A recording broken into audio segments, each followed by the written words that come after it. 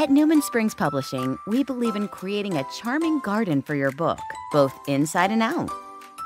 Our artists wondrously take your ideas and craft absorbing illustrations and cover art that breathe life into your characters and settings.